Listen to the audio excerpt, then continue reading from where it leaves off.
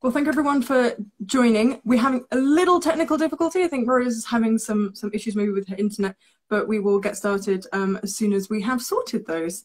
Um, welcome and thank you for joining us on the Drawn in Conversation series here on Instagram. This is episode 29, which is very surprising. Episode 29, lucky 29. Um, and if you have joined us here previously, you have been uh, wonderfully entertained by our former director, Kate Mason, um, who, um, if you saw our recent announcement, um, has stepped down from her role. Uh, so thank you very much, Kate, for all your wonderful work. Um, it was brilliant working with you. Um, and we recently welcomed Jane Barnes. So welcome, Jane, to the team. Uh, and uh, we will certainly uh, see how things uh, are going. Um, and you know, lots of things in the background. Um, let me just see how Rose is doing, and we'll see if we can get her back back with us. Do feel free if anyone has any questions or comments in the chat thus far. do feel free just to just to pop them in, and we'll see how we how we go.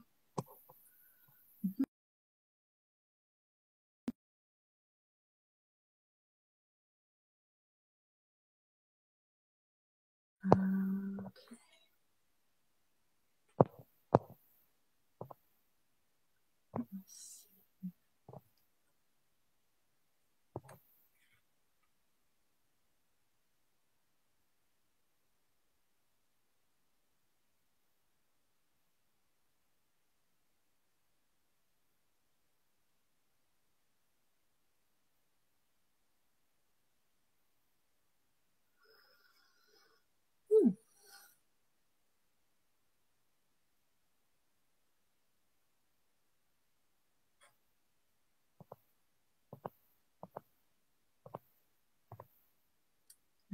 I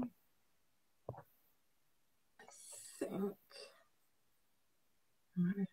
Technical issue, issues. Everyone, if you would just bear with us, we'll get this sorted.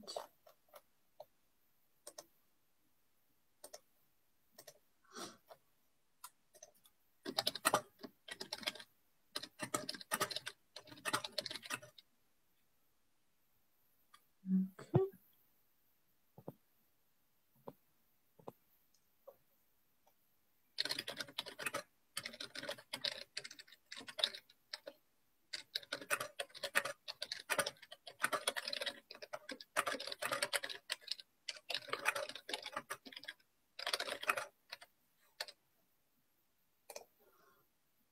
Mhm. Let's have a look.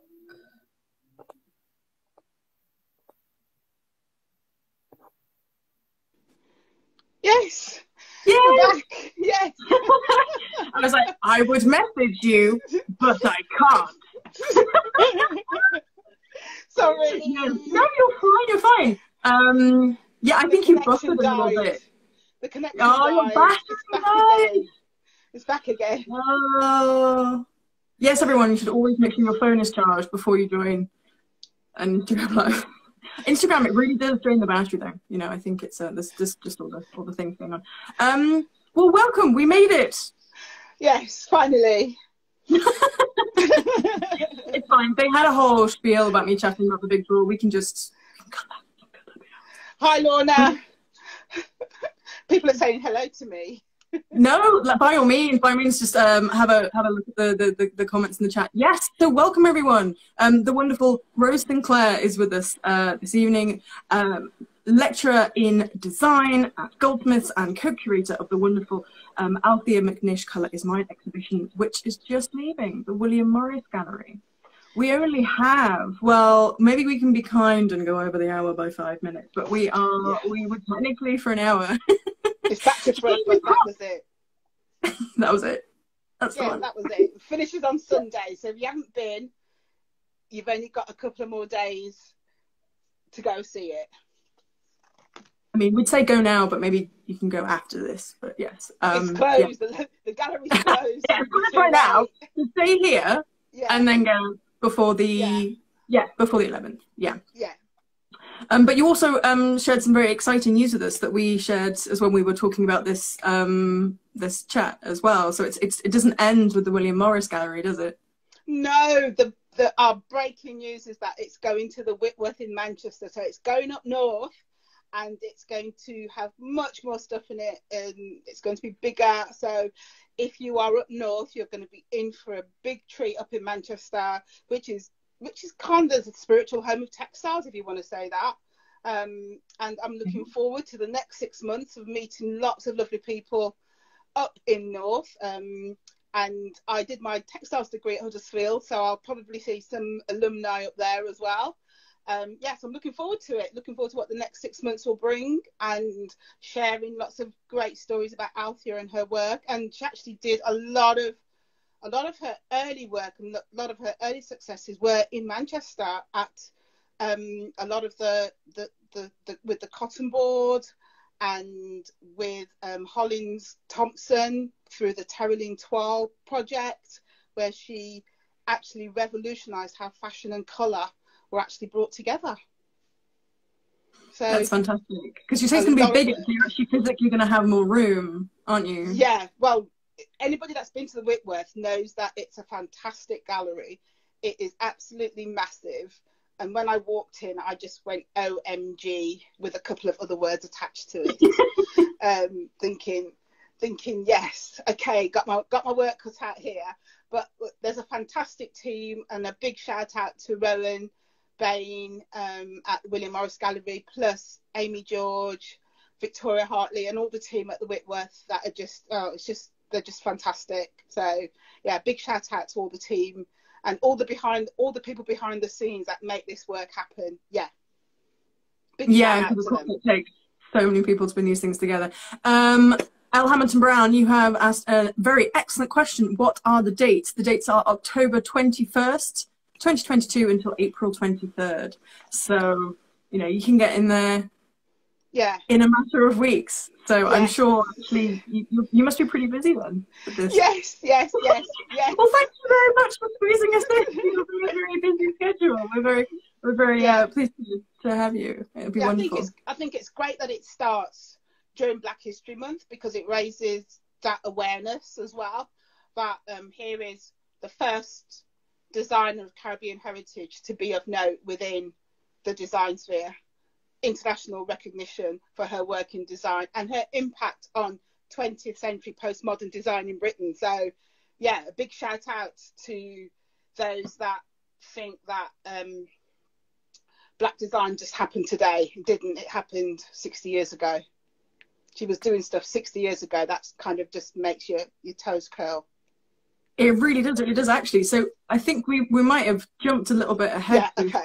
about the exhibition, but let's just go back a little bit because and and just kind of set a bit of the grounding around yourself and particularly textile design. Why is that so in, in, in important for you? How did how did that start for you?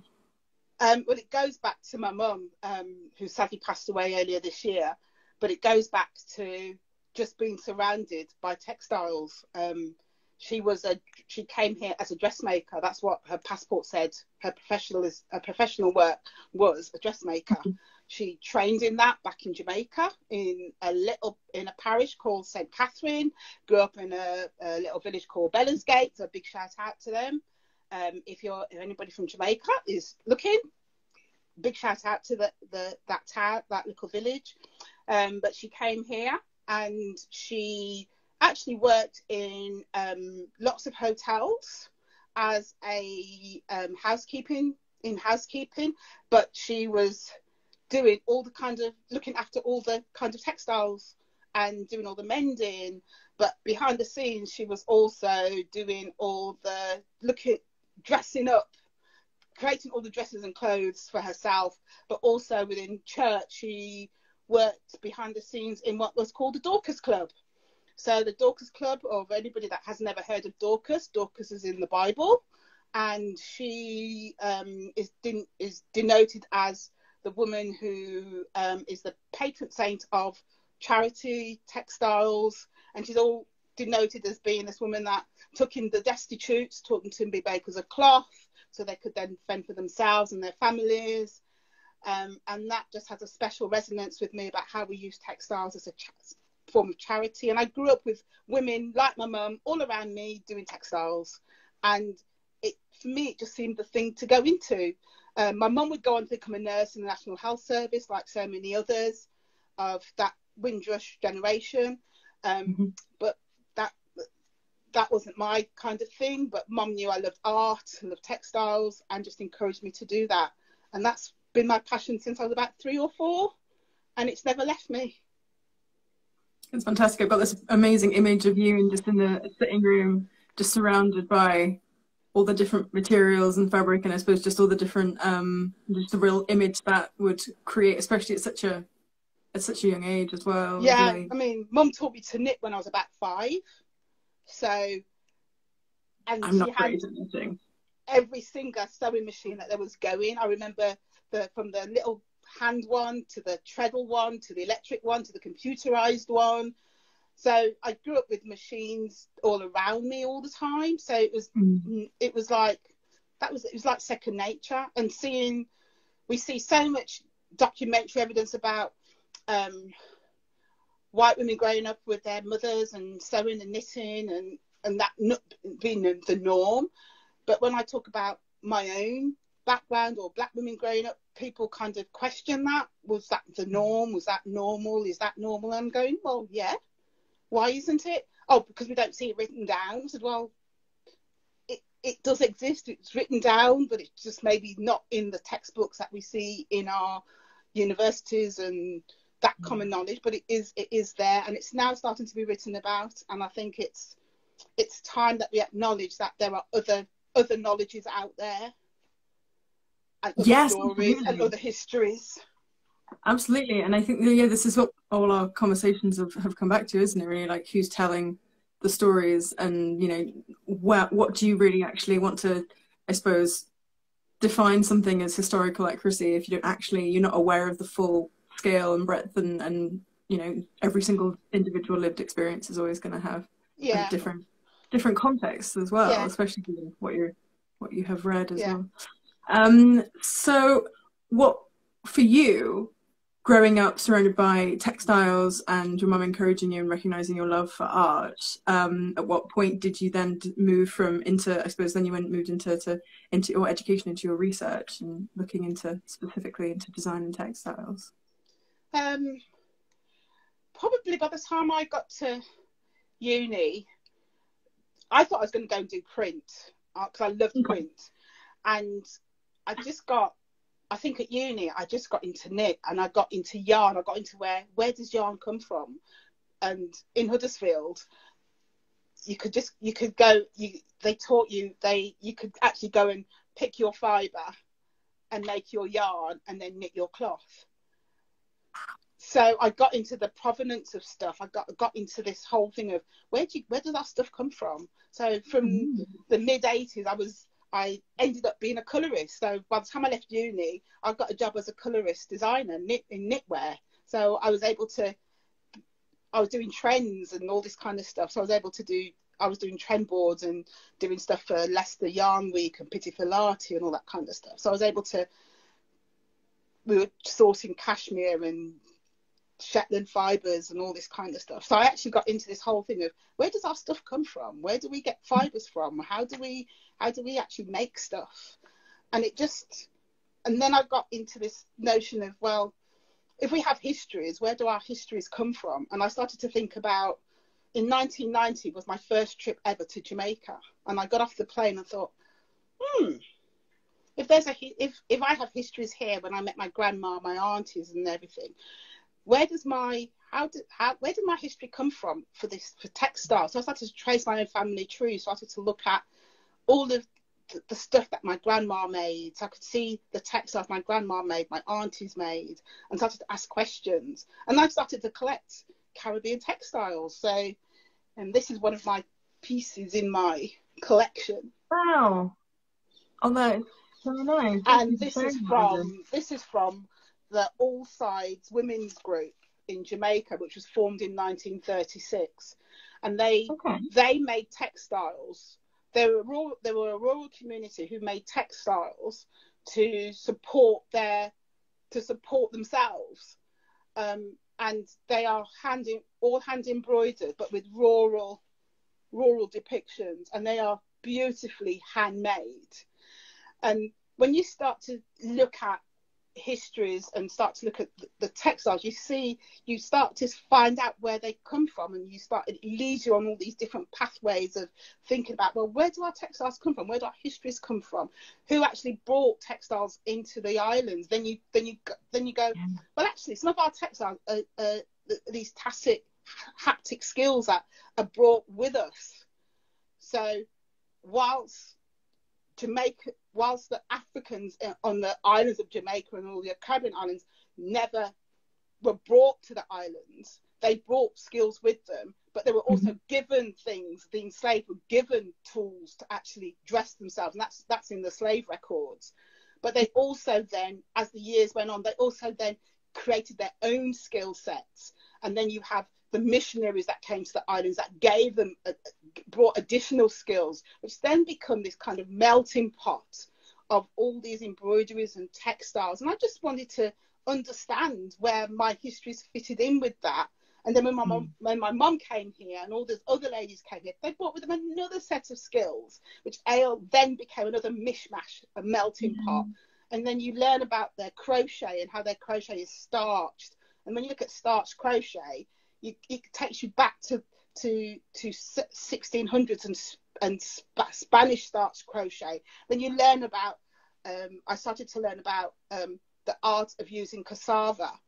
Um, cassava is a, is a starched root, and then my mother would, my mum then taught me how they actually used to use cassava, grate it, dry it, and then use the powder to actually then starch their crochet, so it would stand up almost like soldiers to attention but it takes three days to do that kind of thing. And you go, oh, I don't think so. But it takes three days to actually get this starch, this powder that you then use. Yeah. And then they would tell me when they came here in England, they couldn't do that. No. So they had to find some other means. They said, well, we used to boil the water from rice and pour it off and reduce it and do that, or we then go out and buy starch powder and stuff. So all these different things are not written down. So I started to write them down as part of my PhD research. So I then mm. have this massive research about black women and crafting and making. You're following all of these threads in this wonderful exploration.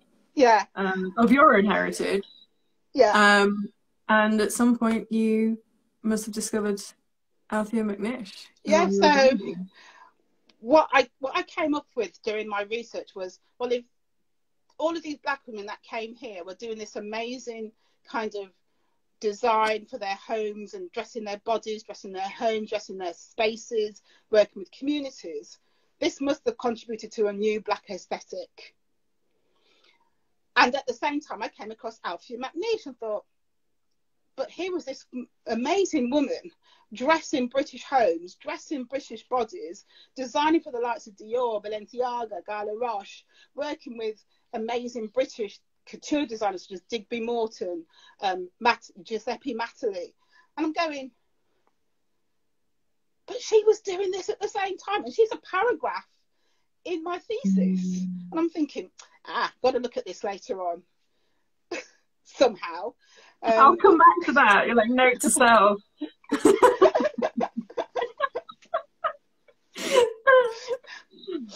and little did you know. And little did I know and that was kind of like in probably 2013 mm, 14 when she was just a little mm. paragraph and i just kind mm-hmm. of left it like that um, but i first probably came across her in an article in 2005 and that would have been in crafts magazine um, and it was an article by by by a historian called Lesley Jackson and it was called caribbean blaze and it was just all about Althea and her work. And at that time, I actually didn't even know that Althea was still alive because I'd mm. never come across her in all my years at yeah. uni and as a tutor. And I'm thinking, mm-hmm.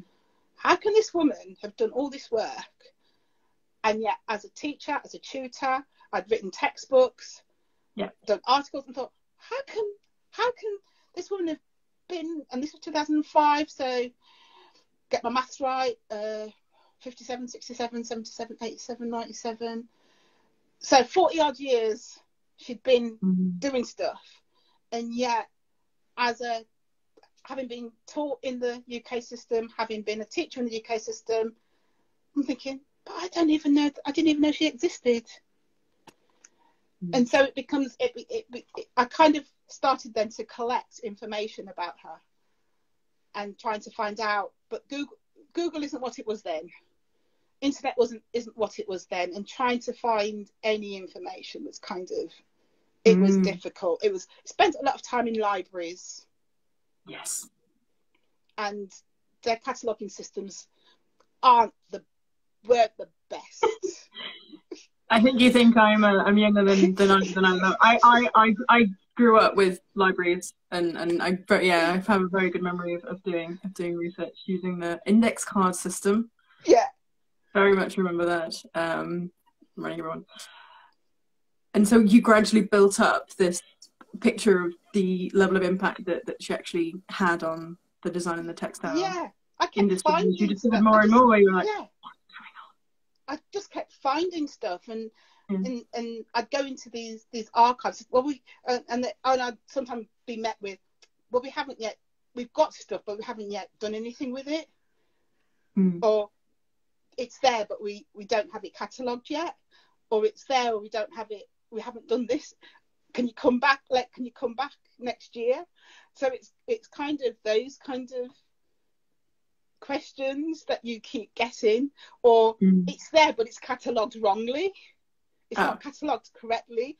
Um, or one piece I was I was given it it had her name on it but her name was crossed out and I said but that isn't Althea McNish how do you know that says it says so on the selvage of the fabric. Oh, but her name was crossed out on the label, and it was it, it was labeled something else. Um. And, and well, how do you know that it's it's her fabric? I says, well, they've got that in the V&A. How do you know? Says, I've seen it. How do you know? Google. how do you know? It's there. It's catalogued. It's there. It's there. Yeah.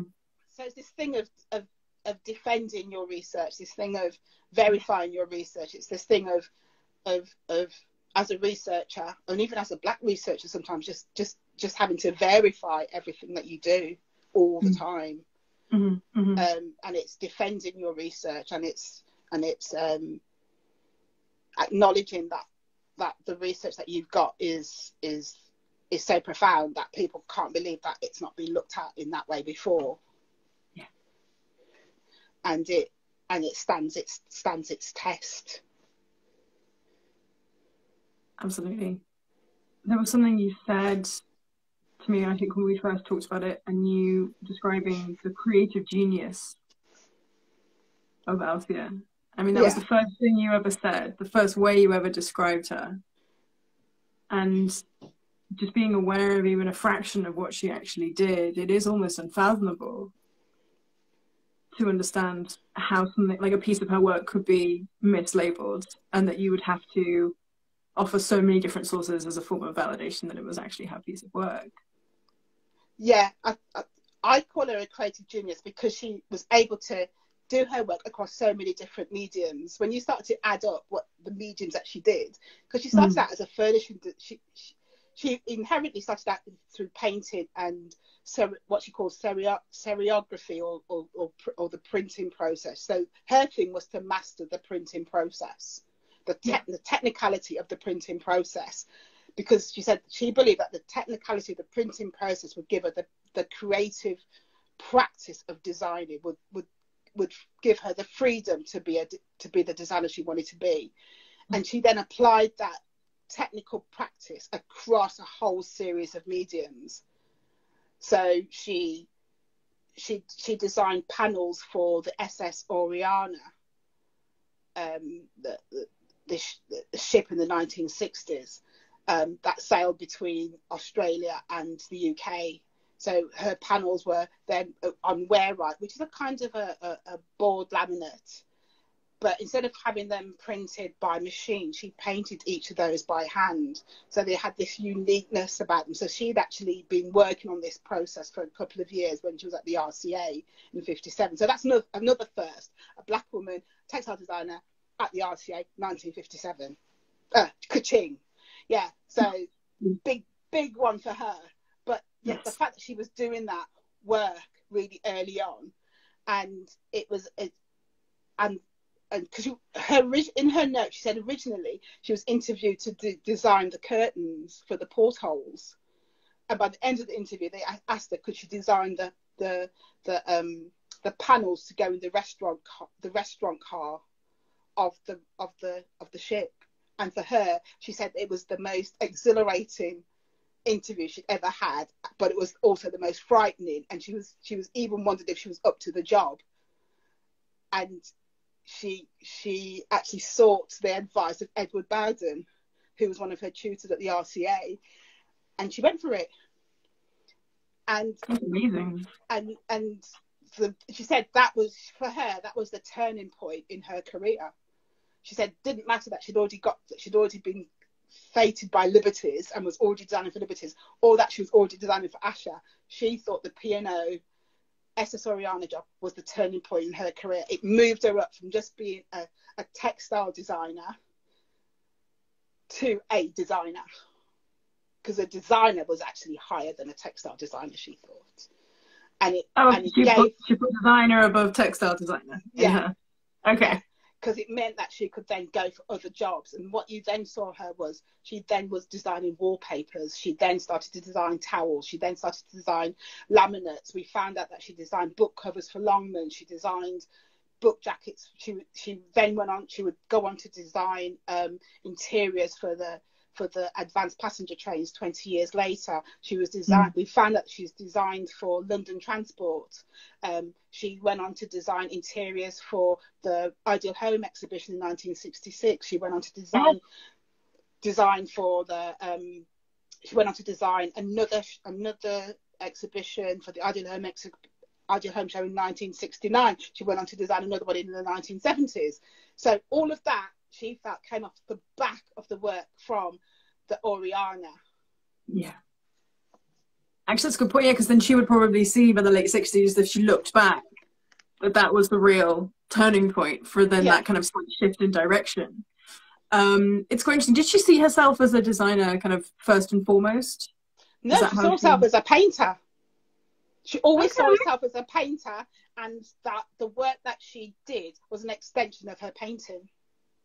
Yeah, because she was very tactile, as you've already said, with her process. She she would spend yeah. a long time building it up layer by layer.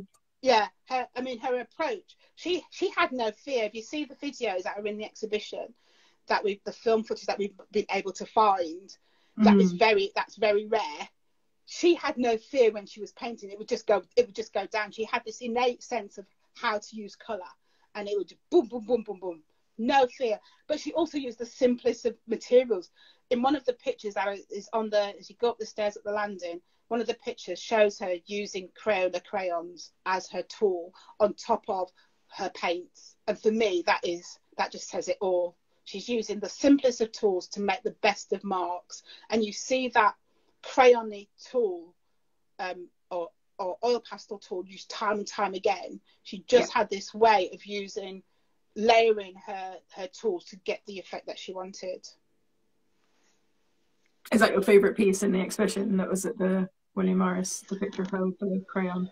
That's one of my favourite pictures because it just shows me that she, it didn't, she used whatever tools were to hand. And yeah. one of her favourite ways of, of, and you see that in things like the, there's a there's one of her um, we've got a monoprint from the V&A which is Painted Desert, which is mm-hmm. the, um, the, the Painted Desert is an area in America which is, has these giant cacti, and the monoprint from the V&A is is a really massive AO monoprint. But then she's translated that into a textile that she did for Hull Traders, called Painted Painted Desert. Uh, but she's rescaled it, and what she said that she learnt when she um, started to design fashion fabrics, how to rescale, because lots of her initial furnishing fabrics were actually giant scaled, because you've got to remember that she was designing for postmodern Britain, and postmodern Britain had come out of the war, and all the new um, buildings that were being made had massive windows, massive spaces, and you had to, your textiles had to fit those spaces. And you see that in some of the wallpapers that she designed as well. They're very dramatic, very bold, very big, very bright, but they had to fit those large spaces. And so, mm. in that sense, her, her her textiles and her initial designs are big, bold, and bright and daring. But then her fashion her fashion fabrics are much smaller in scale. Mm much more de- demure and much and the scale is is is different but she hasn't she doesn't lose that boldness in color and she talks about her use of florals a lot look she actually constantly cross references back to florals in a lot of her work because she loved going to Kew she grew flowers in her garden she she she was also homesick a lot for Trinidad where she came from and she she she kept lots of sketchbooks with um, floor with with with images in of plants from Trinidad. Um, she would often go to Kew to do to do drawings, and we see that in her sketchbooks in the exhibition. But she would also keep dried flowers, so she would actually okay. she tra- she travelled over across Europe, and she actually brought back lots of flowers, but she dried them. So we found lots of her sketchbooks with dried plants in and she would use those, and you see a lot of her monoprints. If you look at um, there's a one of her images is called Rubra, and it and you see this this kind of effect, like dried, very sketchy effects, like it's done with a oil pastel, but it it looks like it's almost taken from a dried image, dried flower image. But we knew mm. we know that a lot of her early 1960s um, designs are actually influenced from Paris because she spent three she spent a couple of years in Paris and she was influenced by the the impressionist painters like um, and she said she was influenced by Van Gogh and Matisse and those mm-hmm. and you see that in some of the imagery it's very very scripted very very um, lots of draw drawn imagery in her in her work and so when you look at the big drawings the way that she draws with lots of fluidity and abandonment, yeah. but it's it's very kind of concise as well. And she used monoprints a lot as her. It's almost like that was her way of photocopying. Yeah, um, by monoprinting. Yeah, how she used a slightly more elaborate process than yeah. I suppose on a modern day, a modern day photocopier. It's really lovely to hear you describe in such a a fierce abandon with color and size and scale and and and I suppose and shape and line but then also to have the same artist return to the sketchbook to come back to um, you know probably one of the more familiar the, the, the most kind of i suppose almost like a touchstone to a lot of different artists. Yeah. Um, um ha- can you off the top of your head how many are there quite a few sketchbooks of hers that are in the exhibition or are there she you've mentioned she kept a, a few of them she kept she didn't throw anything away we, we had choice. We had choice. There was there's loads. There's at least one off the top of my head. There's at least I think there's three in the exhibition, but we had more to choose from. But we've had limited space, so we put one, two. I think there's three or four in the exhibition. Okay. Um, but we know that when she went to um, Trinidad in 1962 to do an exhibition, she took 163 mm-hmm. pieces of work with her. Wait a second, sketch pads then. I was like going to say 163 no. sketch pads, so I was like, that's a big, it's a big suitcase. but, to, but to illustrate her sketch work, this is this is one of her designs. Oh, this beautiful. So you can see, and this is this is one mm. of the mm. this is one of the designs that was reissued by Liberty's. I I can't remember what the reissued name is from Liberty's, but I know it's called Akrana from the original design but you can okay. see the sketch that the sketch like work on it. Yes, you really can see the sketch like quality to her style. Yeah. Absolutely, we'll have to find the name for that one and we'll we'll add it in. Uh, if you're watching this back, have a look in the description below and we'll we'll have found that name for you. Yeah, I just can't remember the name. I no, it's only. I, I mean, you've described name. a lot of dates and information already, so you you have retained so much. Um, Um, but she loved poppies. Poppies were one of her favourite flowers, and you'll see poppies coming up in her work time and time again. And she loved thistles, and she what she describes it as she would take the thistle and the thistles and poppies and flowers, and she'd give them what she would she described as tropicalizing them. So she would make them give them this tropical feel and make them mm. different again. So that that's so you see that you see, that's a recognised signature of her work. This notion of taking things from the English countryside and doing and tropicalising them. Um, and you see it again in this piece of work. This is called Gila. Um, and you're probably wondering, oh, Rose, have you got pe-? Yes, I've got several pieces of Althea McNish, which I started collecting ages ago. Brought some materials. Oh, look at those colours. I don't think this is going to do justice to, no, it isn't. to that. It's, on this Instagram. Is called, this is called Sheila, and it's by Hull Traders. But it's it's an amazing mm. floral. It's just full of colour, and we know from some of the research we've done, some of her pieces contains 23 colours. Just layered on top of each other. Yeah, in a in a print. So we, we found out. yeah, yeah, some of her pieces contain 23 colours, and you and I know, Eleanor, that very few printers would allow you to do 23 colours. This is traditional printing, hand screen printing. How many printers do you know today would allow you to put 23 colours into a design, into production? It was a really good design.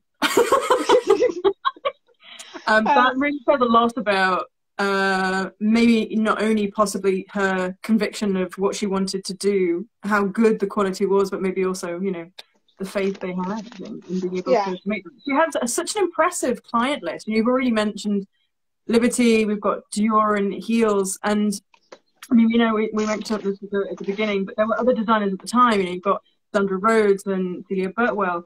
Um, and it's the fact that Althea isn't the household name that you've touched upon, even with the clients that she worked with, and also her being such an inspiration to to the black community at the time, even though they were a small part of the of the yeah. population. You know, are you is your hope that the exhibition, that all the conversation around the exhibition, and the fact that already it's going to a second uh, bigger uh, gallery, that this is the beginning of being able to maybe make those corrections?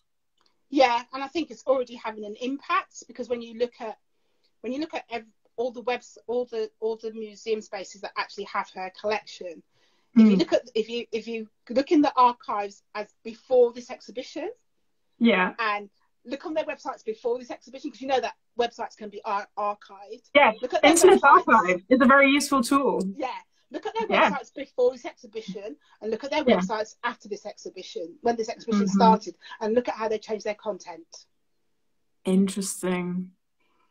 And or maybe they just went. They were like, maybe we should just double check in case we have enough like in the collection yeah, and look at how they've changed their content since this exhibition yeah. has gone up. Mm-hmm. Um, they're, lots of them have changed, have corrected their information um, yeah. in terms of when she was born. Lots of them have corrected their information on. We can um, come back to the stories around when she was born. Yeah. In a um, bit. lots of them have corrected their information about certain of the textiles, the the information on all different aspects of her work have all been changed because they've actually because we've actually put that information in the exhibition. We've we've given mm. we've sent people on a journey about her, her voice is in the exhibition through the videos. We've sent mm. we've shown people this is what this designer had the capability to do, and people have been taken on a journey to mm. about her.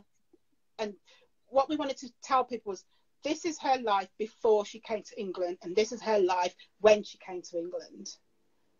And she had this, she, she moved between these two spaces time and time again. But she mm. was a confident 26 year old when she came here. She was yes. already, she was already a confident woman and she knew what she wanted to do. She knew she didn't mm. want, she got a scholarship to go to the Architectural Association College. I mean, that was, that was a big thing but she, she, she said, she said, she, she, she terms it, it was a man's job. That's what she said. It was a man's job. And she didn't think it was going to be for her. And okay. she said, commercial, she thought commercial, commercial design as it was called then, or mm. graphic design was going to be the thing. But what we what you have to recognise, she also went to evening classes. So she was doing this day class Mm-hmm. of commercial design and went to evening class to do textiles. Wow. So she was doing the two together. I mean, that could not have been an easy juggle. Oh, it could not have been easy at all. And and that's how she met Eduardo Paolozzi. And then she met this lovely woman called Miss Batty, who was the te- one of the textiles geniuses at Central School at the time, and that's what uh, helped her to get into, get the scholarship to get into the RCA. So that that that mixture of of stuff, if you like, um, and what Mm. we were able to show in the exhibition was student what student life was like for her at the time. So people got to see what her life was like through her eyes, through her photographs, and that I Mm. think is the thing about seeing her as a person, not just as the designer.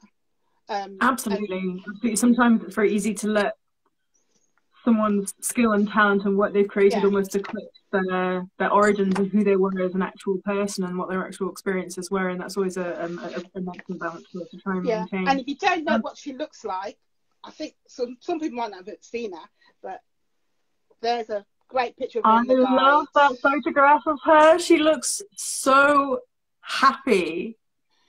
She's just stood there holding these two amazing designs on either Yeah. side, and it's just like the biggest smile on her face. So what you see on on that on one side is Cebollas, which was obviously that that fabric has been re- that's a Liberty fabric, and that was redone in the new in the new fabrics that Liberty reissued. And Cebollas means Spanish in onion, means onions in Spanish, sorry. And the other fabric is uh, Trinidad by Heal's. Oh, lovely. Um, and that was one of her first fabrics for Heal's. So, and then she's surrounded by all her artwork. Mm. It's a lovely photograph. Um, and then for me, it's um, and that's her first design for Liberty's Marina. And you can see that crayony, that Mm. crayony design, that use of texture. Absolutely. And this for me, uh, if you can see that one properly, is her in her studio. Oh, wow. So you were saying before in the beginning, it was very difficult to really have a clear idea of where, you know, you were trying to piece together where she'd been and you were using original sources and going to libraries. And then it, it seems that once you were able to uh, have access to her studio and her own, um, I suppose, sketchbooks and archives, as you said, she never threw anything away. That probably gave you so much more information and so much more to work with in order to, to be able to Yeah. tell that story and track that journey. I think what what I think what I've been able to do by amassing the newspaper articles because there were quite a lot of newspaper articles written about her in the West Indian press, uh, Mhm. what was what was termed the West Indian press at the time, um, from from the Jamaican Gleaner, West Indian Chronicles, West Indian Mm. Gazette. Um, Yeah. Then also things like the Guardian, the Daily Mail, Evening Standard, all of these newspapers had written about her, but it, it took a lot of literally hours of Mm. just sitting down and searching to find and then putting them all together and then you get this picture of her this notion that she enlivened the the, the, the various brought sunshine brought whatever it, it it was and you get these you get these um one article that made made me smile was that women were rushing into Liberty's to buy this fanta- these fantastic fabrics by this amazing designer Althea McNish, but they weren't buying the furnishing fabrics to put on furniture. They're buying the furnishing fabrics to dress themselves. So this notion that, um, and, and she herself talks about the fact that she was sick and tired of seeing women dressed in flower pots. She wanted them to be dressed in flowers. So one of her one of her first designs that were produced for Ascher, Zika Ascher, one of the famous kind of fashion entrepreneurs, was that she created this design called Tropic. And it's these amazing, lush, large flowers. Mm. And she did it so women could be draped in flowers, but the fabric was in this luscious silk that just literally designers did it and it just draped the body exotically. And it's like, yeah, it was it was the thing in spring 1959, 1960 in all the kind of in all the magazines, um, and it was used by like Guy Laroche. So it was in French Vogue in in June, July 1959. It was mm. used by Guy Mattli as one of his designs. So all these, all these Giuseppe Mattli, sorry, not Guy Mattli, but Giuseppe Mattli, and it, and, and you start to see this this amazing. Her work is just going from strength to strength um, in all these in all these different areas. Yeah. You said before that the poppy was one of her favourite flowers and she loved thistles and what she really liked to do. And I really liked the way that she would take these British or I suppose, you know, maybe kind of the plant life and the botanicals that she saw in Britain or in America, but then we would place them with these really bright tropical backgrounds and have such a wonderful contrast. Um, and you have a quote on the wall of the exhibition, which, you know, obviously really kind of lands on the head with that. Everything I did, I saw through a tropical eye, which really wonderfully, you know, links into how her work in, like incorporates those influences from the Caribbean as well as from Britain. You know, how do you think that she was able to extract elements of those different cultures to really infuse that design and te- textile practice, or she was just experimenting with different shapes and forms and colors and seeing what I, came? I think, and that and that also comes from a a lot of that comes from comes from discussions with her husband John as well. Um, I. I think I think John Weiss he was he was as much an influence with her, but I, I think part of part of this was because she. What we've got to remember is that there weren't any Althea came here before independence in Trinidad, so before there was any kind of big university in that you could actually study art and design at. So for a mm. lot of the, the early writers, artists and stuff, for them to actually get that further education in design or art or whatever, they had to move. Trinidad was a colony. They had to move from mm the colony to the colonizer to get that extra education. And for her to make her career, she couldn't. She said she decided that she couldn't go back to Trinidad to do that there was there wasn't a, there wasn't a place for her to do to get to to keep that work momentum. She would go back to Trinidad to do exhibitions and to do talks and tours, but she couldn't she couldn't sustain her living there. It had to yeah. be here. Okay. So in all, but she was homesick. But and one of the things that you'll find in all of her work, every piece of work is actually named, and it and she cross references back to Trinidad and the Caribbean all the time and mm. she she collect flowers. Um, there's there's a reference that um, when the Queen went to did the tour in 1966 in Trinidad, they actually took one of the residences there. They created that for the Queen Prince Philip, and what they actually they commissioned Althea to design the fabric that would decorate the residence. But they sent the flowers from Trinidad. They air freighted the flowers from Trinidad to the UK so she could design the the fabric to be then shipped back to Trinidad. Mm. That's how much she was recognised for her work. Mm. Um, and it was the national flower of Trinidad. They didn't have it here that she could actually use, so they shipped it, uh, air freighted it over, so she could design the fabric and ship it back.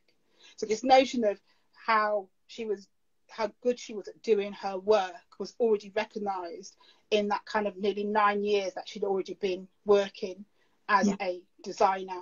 It, it, she had that recognition as a designer. So not just a textile designer, but a designer. Yes, which was a an important difference that she liked to make. Yeah, that's what she liked to make that difference. And what we then find out by 1966, she was also invited to be a member of the Caribbean Artist Movement, which was a British, which was technically a British art movement made up of a range of black artists, writers that were that were wanted recognition within Britain that that they were that they were contributing to a black to a black aesthetic to a black British aesthetic here in Britain, mm. and that black British art was here to stay, and it was making a contribution to the art movement per se. Mm. And they wanted to introduce a black audience and a white audience to what British art was about. Black British art was about in a big in a bigger in a bigger way. And she was the only female for a number of years in that group, and she was invited as part of that. And she and she would um, showcase her work, both her murals, her textiles, her design work as part of that group. And she was she was very um, much a part of that whole scene. Yeah, absolutely. Um, you said before that she about something about how um, was it Black British art isn't happening now. It it happened years ago, and that was something that you wanted to to that has been something you've talked about relating back to the the exhibition, uh, and we've touched upon how Althea had such amazing breadth. It wasn't you know she was doing haute couture, but she was also her work was on the high street. People were having her designs in their homes and they were having it on their clothes as well. Um, how would you say that she has influenced designers uh, of today? Oh, Even consciously or subconsciously. Can you can you quickly encapsulate that? I would I know to that's a big question, but I would I would have to say that her her influence lies in the the fact that she challenged she challenged the use of color as a as a as a way of um she challenged how we used how we used and influ- the influence and the use of color in our in our in our design spaces um Mm. how we how we might influence the use of color so for instance i know that she designed for what was called cavendish textiles which was part of john lewis's and you can't get more every day than John Lewis's, can you? Nope. So, um, and in especially in the 1966 Ideal Home exhibition, one of her fabrics called Lumiere was actually showcased in the the Girl About Time room, and that fabric would have been on release eight weeks after the show. So consumers Mhm. would have been able to have gone to John Lewis's and bought that fabric to decorate their home. And you've got to remember that that show was the first to be showcased in colour on BBC Two. So consumers would have had the chance to see that in colour to see what it would look like, and then eight weeks later go and see it, go and buy it themselves. But also, 1966 on 1966 when you look in the eyes when you look in various magazines, it was the time when the consumer was taught what was good taste, what was what was good design, and lots of the fabrics were showcased in the run up to the Ideal Home Show, and then for the next six months this is what you might be buying for your home. This is how you can decorate your home. This is how you can see your home. So she was she was a dictator of taste, yeah, uh, but people didn't know that because it was it wasn't sold necessarily with her name on. It was sold as Well, yeah. this is the design by Cavendish or this is the design by Warerite Manufacturers. This is the design by. So depending on which magazine it was aimed at, it would be it would be how it was sold. Yeah. So if you were in the Heal's or Habit Heels Market or Hull Traders, it would it, it would, everything had her name on. So you were the you were the well heeled, and you would you would know that that was Althea McNish, and you'd be buying it. But if you were the, from the everyday market, Mm. you wouldn't necessarily be, be buying that from that from from you'd be you'd be buying that because that was be the thing that you saw in the in the in the latest home magazine, if you like. But you wouldn't know it was Althea McNish because it wouldn't have it wouldn't have her name on it. But you'd Mm. buy it because you saw it in the magazine. So not every store would automatically use her name, but by association of the fact that the designs have been in the show, Yeah, she automatically had well, her designs had that level of of recognition. yeah, and she Which, and she yeah, she'd be bring us back working. to you yeah. and, and she Sorry. and, and she'd be working and the thing is we've got we've got to recognize as well she she actually won a she actually won an award in 62 63 to spend three months going around europe looking at the trends around all the major european um print print houses. So she knew what was going on in europe. She was aware of the trends. She was aware of the technologies. Um and she worked for quite a few european manufacturers as well.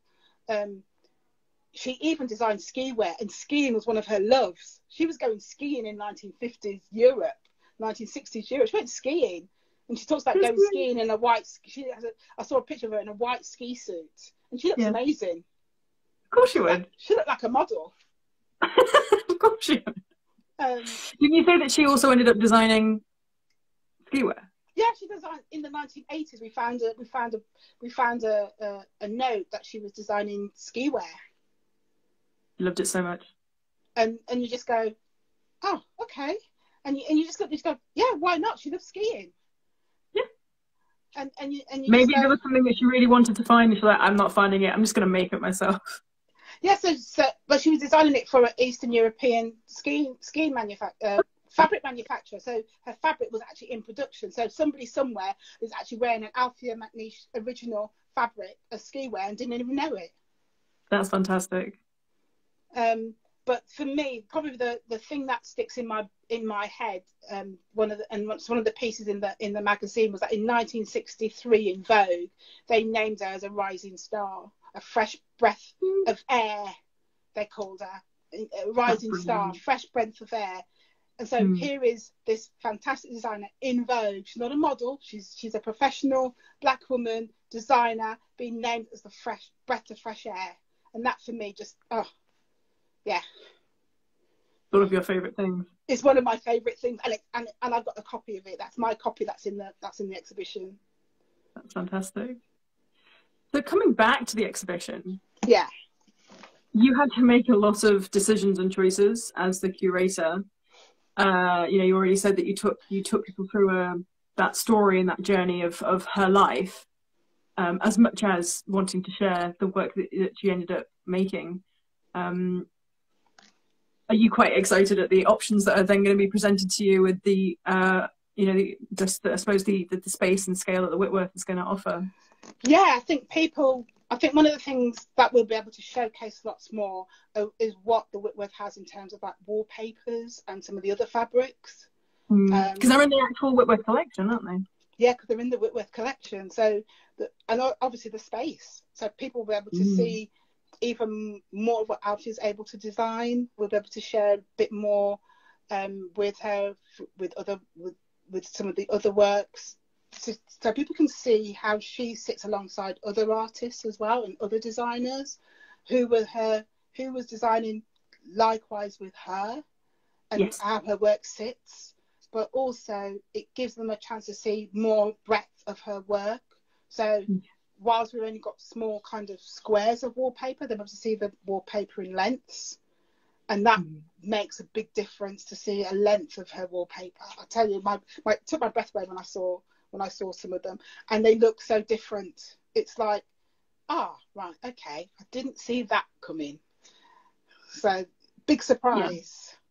And going back to what you were saying before about the scale that she would work to, Yeah, I think, yeah, if you were trying to make that, reduce it down to the, uh, you know, a, a section as opposed to, you know, a full piece, that Yeah. would be. but also it's it's, it's things like can you spot her signature and i'm going to tell you you can't you can't. It, it's not her signature is not spottable. It's Deliberately. it's kind of it's it's i think she she made it deliberate not to spot her signature. But it's in there somewhere. but it's in there somewhere. And and some of the work has the lightest of touch. You would not have thought that is an althea mcnish it's it's it she has this touch. She can go from bright and bold to soft and pastel in a hit and you go okay i i get i she understands color in its finite range Mm. of of everything that's of its entirety and Mm. it's like I don't I don't know if you can see this. Oh, wow. This is one of her scarves for um, this was designed for BOAC and it's meant to be birds flying in formation. Oh, I see that. But you can start to see even on this how the cut how she just uses colour in so Mm. many different ways. Yes. So I think when we when we talk about colour, we have to think about colour not just being bright and bold, But- Mm. in its infinite ways of going from bright and bold to soft and calm. And she Yeah. she has it's like going from a, a, a, shade to a tint. That's a really interesting thing to say. A shade to a tint. I Uh, like that. Yeah. So and or going from a um yeah, shade to a tint is that I think is the is what I want to think about. How you go from a shade to a tint. And then in those kind of contexts, think about what does that mean when you're when you're looking at color on a on a on a color spectrum when you're trying to go from the palest of colors to the darkest or from the brightest to the to to the other end. And that's what she does with color. She it blows your mind. I could sit and think about that for a while, but we but people are watching. Um, so the exhibition is moving from London and coming closer to, to you in the north. Uh, what would your dream exhibition destination place be if it could go anywhere? Where would you love? Oh gosh. Oh gosh. Well, I did. Um, there was an article done for the Scottish um, Homes Home Interiors magazine. So mm-hmm. it would be nice for it to go to Scotland. And then, do you know what? It'd be nice for it to go to Trinidad or somewhere in the Caribbean. if it went. Yeah, that would be lovely. I think it? that would be that would be that would be that would be really nice. Um, and I'd like it to go somewhere where there's another diaspora, diaspora, or even somewhere like Japan or Korea or something like that. Yeah, that would be really fascinating, especially thinking about the use of colour or design and textile. Yeah, because she loved to travel. Mm. She loved to travel, mm. and she and she and she one of her favourite places was Mexico. She said in there, it's one of my favourite places to travel was Mexico. She loved Mexico okay. and the and the Americas. So, oh gosh, it's like putting a pin in a map, isn't it? And going, where would I like to get go? a map out there, and you're like, right, I'm going to put pins in. yeah, and I think there's a, I think, I think taking it to places where there's a, there's a, there's a large diaspora, um, yes. Like Canada or, or obviously, mm. lots of people say the States, but I, I think some place like Canada where there's a large diaspora, because they did, they did actually have, there was a, um, we did find some film footage of her at the Montreal. There was a, there was a big thing in Montreal um, mm. in 1967, like one of these big, um, oh gosh, what do they call them? They have these big um, shows. Like an expo? Yeah, expo, that was it. And there was one in Montreal and, she, and the Trinidad and Tobago um, um, had one. Trinidad had, had a stand and her work was actually in there. So it'd be nice to take it back to Montreal or something like that and kind of mm. showcase her work there. So something in Canada would be would be great, I think. I don't know. It's like so many put, wonderful put a, pin, put a pin in the map and go, yeah, it's it's here, it's it's ready. But um, yeah, I think I think Trinidad because that's where her artwork started. That's where her art life started, and mm. and and taking it back to a spirit. I call it a spiritual home with the Trinidad Art Society and all of that kind of stuff. I think that would be really that would be really significant for me. I think. I think that would be a really wonderful thing to, to, to do to have the exhibitions go back go back home really to a certain degree. Um, seven o'clock, but we can we, we can go for, for a little bit longer. I realised I meant to ask if anyone watching has any questions. um, you're welcome to put them in, and we can do our best and see what we can do. I mean, I can also send them to you, and see if you uh, would like to share anything. But um, what I wanted to just ask now is that you are also uh, you you went from having a short paragraph on Althea in your PhD, thesis, yeah, in your thesis, uh, but you've been working on something a little bit longer that's that's going to come out in 2024. Yes, so I'm now working on the book. Book! I knew there was a book. book. See, little did you book. know that there was going to be this edition of a book yeah, so the book the book is due to the it's always it was always in my in my plan to work on the book for 2024 and the reason for 2024 is because that would be she would it would be her centenary she'd be 100 in 20 she, had she been alive she'd be 100 in 2024 and mm-hmm. so for me that that's a significant time to bring the book because it's reflective it's reflexive and it allows me time to pull together the depth mm-hmm. of research and to give it the give it the reference that it's due. I didn't want to do it too fast because it would it's, it's it's not something that can be done that fast and with two shows in between it's not it's not possible to do to write mm-hmm. and do two exhibitions uh-huh. um and i think the book the book needs time yeah. to pull together the body of research that it it there is, and the pictures and the images. I want it to be Mm. full of images and color and get all the facts straight and all the content done, and it's and I want it to be good. I want it to be- which is very important. You know, I completely appreciate as, a, as an academic in design that you would like it to be. It would be really good. Um, no, I'm sure that'll be absolutely wonderful. Uh, so 2024, everyone, make a note. Yeah, May Uh, 2024. there'll be- May Yes, 2024 is going to be out in time for a birthday. Out in time for, And- for. And we've just had some news that there is going to be a blue plaque, a blue plaque erected for her. Um, Oh, that's amazing. so there's so where she used to live. So we're just waiting for confirmation, but a blue plaque is go- is coming as well. Is that near where she lived, or would that be near her studio? It's her, studio was where she lived. So one. Oh, okay. So in Tottenham. So listen out for announcements soon. So we- Fantastic. we just heard that blue plaque's going to be erected. So That's brilliant. so that would be really. and then we'll also really see what good. happens after for the Whitworth and where it's going to go to next. Yes.